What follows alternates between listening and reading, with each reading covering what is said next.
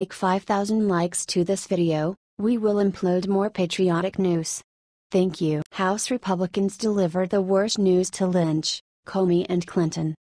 As all of us know, President Donald Trump is under investigation for his alleged connections with the Russians during the 2016 elections. Also, Robert Mueller was appointed as the special counsel for this investigation. However, Republicans of the House Judiciary Committee are now asking for a second special counsel who will investigate other people for the ties with Russia, such as former Attorney General Loretta Lynch, former FBI Director James Comey, and former Secretary of State Hillary Clinton. The Republicans even drafted a letter to the current Attorney General Jeff Sessions and Deputy AG Rod Rosenstein on Thursday. Breitbart reports the letter comes on the heels of a Thursday announcement that the committee has approved an investigation of its own into these figures. That investigation is slated to include a probe into ex director Comey's leaking of his conversations with President Donald Trump through a friend in law Professor Daniel Richman and alleged improprieties in former Attorney General Lynch's handling of the investigation into then presidential candidate Hillary Clinton's private email server. It was Deputy Attorney General Rosenstein, one of the letter's addressees, who made the initial appointment of Robert Mueller as special counsel to investigate Russian interference after Sessions recused himself from oversight of the probe. Lynch, Comey, and Clinton are already under investigation, however, Republicans want them to receive the same treatment that Trump is receiving. They want a special counsel appointed for their investigations. The Republicans explained why they want another special counsel in their letter drafted to Sessions and Rosenstein. Breitbart reports, many Democrats and members of the Washington media previously called for a special prosecutor to investigate Russian influence on the election and connections with the Trump campaign. Not surprisingly, once you actually made the decision to appoint a special counsel, the calls for further investigations by congressional committees continued, focused on allegations that have heretofore produced no evidence of criminality, despite the fact that over a year has passed since the opening of the original FBI investigation. All the Republican members of the committee signed the letter in which they are calling for a second special counsel who will look into Lynch's order directed to Comey to mislead the American people for the Clinton investigation, former Secretary Clinton's mishandle of classified information, as well as the connections between Clinton and foreign entities such as Russia and Ukraine. Republicans also want the second special counsel to investigate the wiretapping of President Trump and the leaks of the identities of his associates as well as all the information that Comey leaked to the media. If Trump can be under investigation for the alleged Russia connections, it's only fair that others such as Comey, Lynch, and Clinton, who actually violated many laws, should be investigated by a special counsel. Do you agree?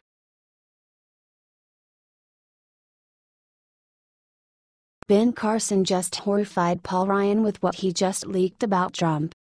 Ever since Dr. Ben Carson took the helm of Department of Housing and Urban Development, he's been living a quiet life.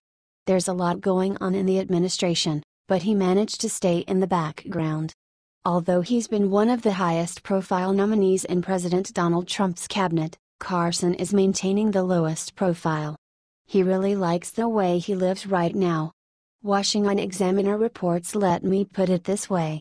I'm glad that Trump is drawing all the fire so I can get stuff done. There's no question that I've been forced to learn very rapidly a lot of stuff. But that's okay, Carson said. I happen to have some excellent people around me at the non assistant secretary level, at the non deputy secretary level. Everybody's doing two or three times more than they ought to be doing. Carson is a fast learner. He proved many times that he is very good at his new job. Also, he said that he collaborates with the White House to pick people for the posts in HUD. The nominees should be announced at the end of the summer. Despite their differences, they managed to compromise. Although Carson is not pulled into the Russia mess, he said that Trump is fighting back and the White House must hire new people to fill the positions in the federal government. Washington Examiner reports I think they've done well given the level of frustration.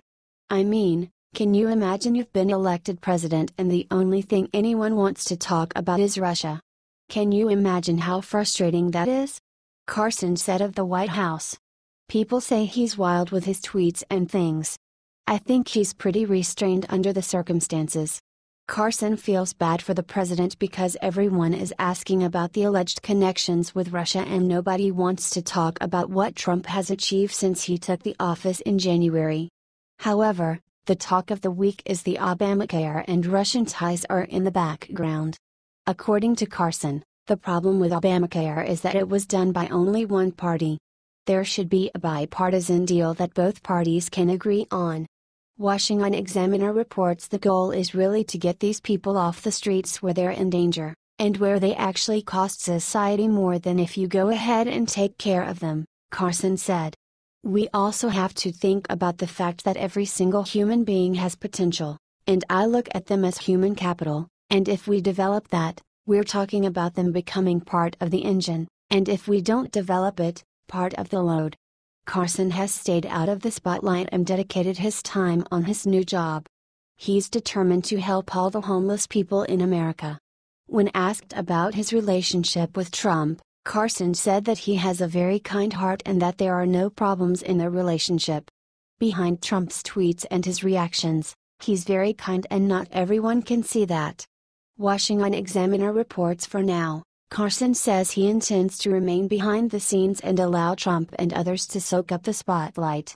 The biggest change for him may be people calling him Secretary Carson rather than Dr. Carson, with one major exception. When my wife tries to get my attention, she now says Dr. Carson. He jokes. Thank you, Secretary Carson, for saying all of this. Some people needed to hear this. Hopefully, they will change their minds about the current president.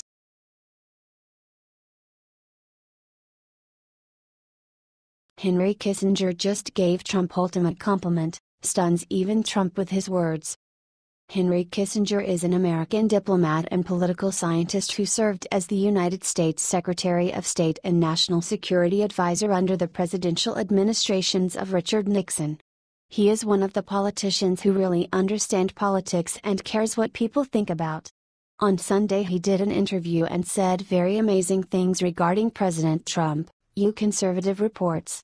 He starts with Donald Trump is a phenomenon that foreign countries haven't seen. Liberals and all those who favor Clinton will never admit it.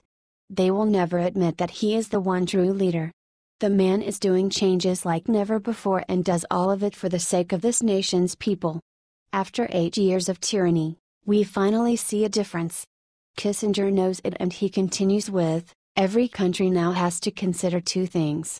1. Their perception that the previous president, or the outgoing president, basically withdrew America from international politics, so that they had to make their own assessments of their necessities. And secondly, that there is a new president who's asking a lot of unfamiliar questions. And because of the combination of the partial vacuum and the new questions, one could imagine that something remarkable and new emerges out of it. Trump puts America and its people first. This is why people love him and this is why he will remain in charge for so long. There is not a single thing wrong with him and people need to open their eyes.